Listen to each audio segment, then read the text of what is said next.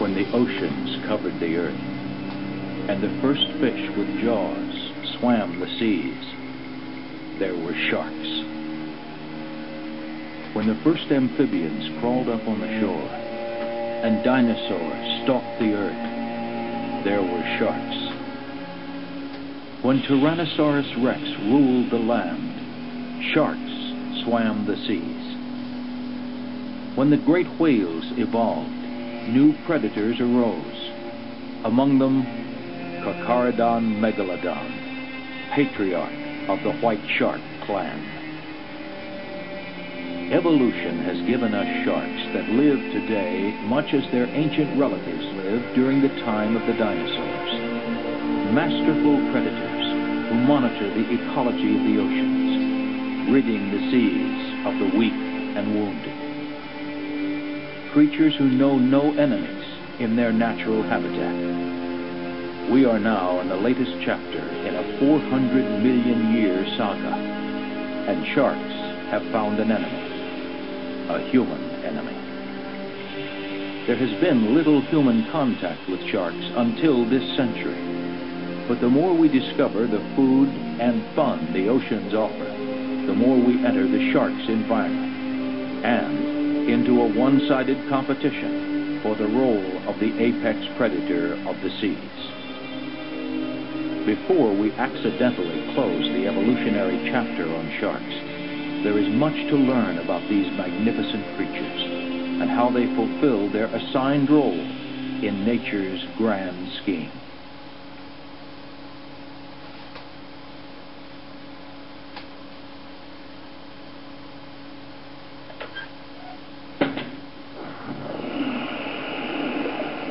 Welcome to the bridge. Routes for you to explore include the food chain, sharks and humans, what is a shark, and shark trivia. The reference library and help are also available here. Open the hatch to exit the program. Alright, so, um, let's get started. Um, let's start with the food chain. Alright, so, um, so uh, this is uh, basically talking about how um, um, the food chain, how it works, um, what happens when something is taken away or if something is added in. Right, let's uh, see. It's uh, sunlight, phytoplankton, zooplankton, small fish, large fish, apex predators, and pollution. Let's click, click on the uh, um, apex predators. Just as the lions and tigers patrol the jungles, seeking out the slowest, weakest, and the most vulnerable of the land animals, the large sharks patrol the oceans. Evolution has equipped these sharks with the strength, speed, and teeth necessary to perform their role efficiently. These giants are the apex predator, the top of the ocean food chain. They feed on the large fish, sometimes seals and seabirds and promote the health of the other fish populations through a process of natural selection. It is impossible to predict exactly what would happen if the apex predators ceased to exist. Although large fishes are not well equipped to seek out weak and injured prey, similar to sharks, some species of large fish might assume the apex predator role, causing the large fish population to expand. For a short time, these fish, which are particularly popular with the fishing industry, might be more plentiful. However, based on experience with land animals, the increased numbers of big fish would quickly deplete their food source. The small fish and the large fish populations would crash. It could take decades, even centuries, for the large fishes to replace themselves. The small fishes and crustaceans remaining would make barely a dent in the zooplankton population. These tiny creatures might thrive, even increase, until there are so many that their food source, the phytoplankton, is depleted. If that happened, zooplankton, including the larvae of future small fishes, would starve. That's just sad. Anyway, um, let's go to menu. Uh, go back. Alright, I'm just going to go to the left reference library, um, uh, glossary, title index, shark index. Because I want to show you something that I show you a shark that I didn't even know existed. Here it is. A green lantern shark. Why is it called that? Because it belongs to a group of fish called, I mean, group of sharks called lantern sharks. And, um, it has bioluminescence, which is green. Just want to show you something I learned from this game. Uh, these are like movies. I want to show you some, show you what the trivia is like. It's Shark Trivia, the game of choice where you find out whether you sink or swim as a shark expert. And now, live and in person from Sherman's Lagoon, your host, Sherman. Thank you, thank you, thank you. uh, now, here's the first question. The spiral valve is found in a shark's A. Intestine B. Heart C. Eye I'm going to guess intestine. Way to go! I've played this game before, so they there's never it it never ends basically. Um, I guess there might be an end. I don't know, but it, it repeats the same questions over and over, and I've I've uh, gotten the hang of it. Despite their name, oceanic white-tipped sharks A. have no white on their bodies B. have black-tipped fins as juveniles C. live in estuaries Some of the some of these pictures give you clues, so it's easy to answer them. Aye aye, Captain. When a whale shark is born, it is A. already about five feet long. B. small enough to fit inside of a football. C. as large as a person. I don't really remember this one. I'll just guess B. I thought I hooked you that time, but you slipped by. You were right. Good. The largest known victim of a shark attack is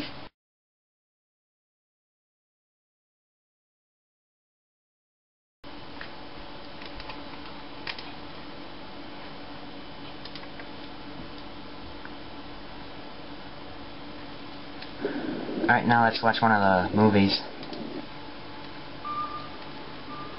Shark Tales. These are interesting. Since the first human sighting of a dorsal fin cutting the water, sharks have inspired lore and legend. Select a story by clicking on an image.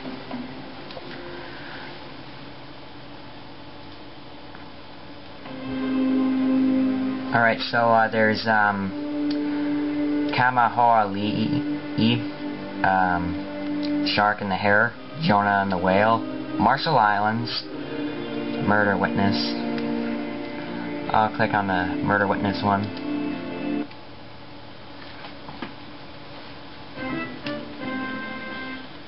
Dateline April 1935, Sydney, Australia.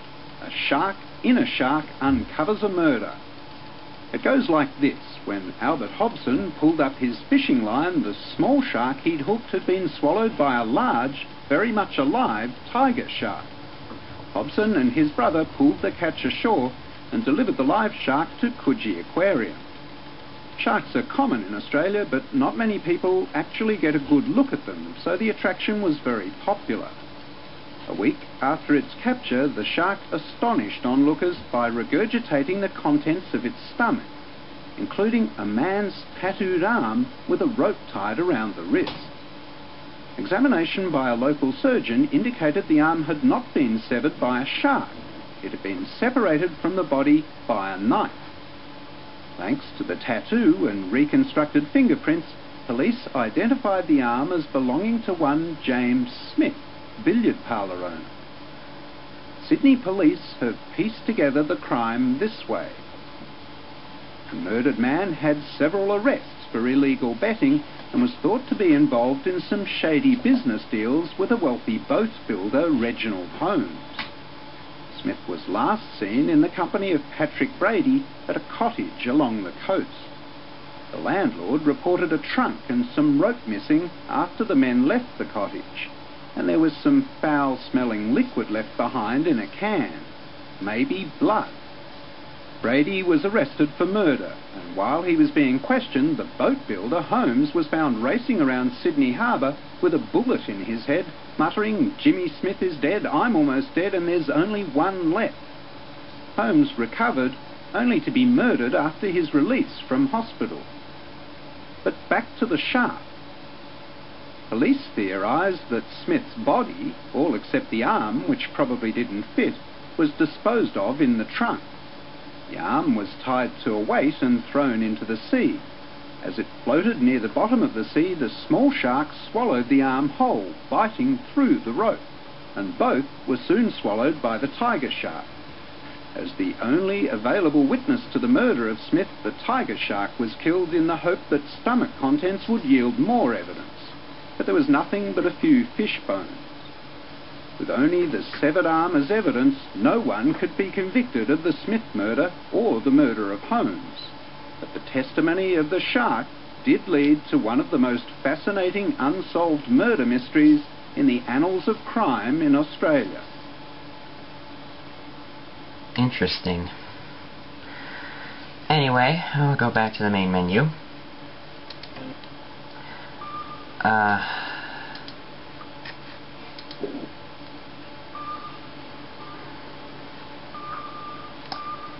Um, see, let's pick one to choose.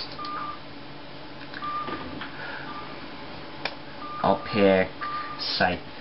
If you encounter a shark in the water, don't count on it having poor vision. Sharks see very well. In some situations, they see better than we do. If we drive very fast, the buildings along the road become rather a blur because we do not store each image a shark does record the individual images. We know this from laboratory studies done by Dr. Sam Gruber and his students at the University of Miami. They found that the lemon shark's ability to distinguish between rapidly changing images, like a flickering light, is much better than most fishes and as good as ours. Sharks have well-developed visual systems that differ according to the needs of the various species. Dr. Robert Hueter developed his interest in shark vision as a student. And as the director of the Center for Shark Research at Mote Marine Laboratory, his investigation continues. People often ask how well sharks can see. And the answer to that is that their eyes are adapted very well for the particular habitat in which they live. Their sensitivity, which is the ability to see very dim light, is extremely high, perhaps 10 times the sensitivity of the human eye which means that they can see a light that's ten times dimmer than the dimmest light that a person can see. This means that they may be able to actually use vision at night and hunt by starlight. It is very difficult to conduct field studies with sharks, as you can see. But this work and laboratory studies prove that the species studied see well in all light conditions. They can see color, and they can distinguish between shapes. Again, Dr. Hueter explains. Their acuity, which is the ability to discriminate very fine patterns, is about average. It's about as good as the marine environment will allow, and about as good as they need to function visually in the marine environment. Their range of visibility extends out to the range at which the water visibility will allow, and they can see objects up very close to the head. It's interesting to note that the eye of a lemon shark focuses the image slightly behind the retina, making them a bit far-sighted. The image focuses right on the retina for tiger sharks and bull sharks. The ability to focus seems to be characteristic of each species studied, but who knows? Maybe it changes with age. Okay, now let's go back to the main menu. so anyway, uh, that's my review. Oh wait, what's? Oh yeah, that's right. So anyway, that's my review of the game. Um, what do I think of it? It's good. Um, so anyway, that's my review, and uh, I'll see you next time with more reviews of CD-ROM games on my Windows.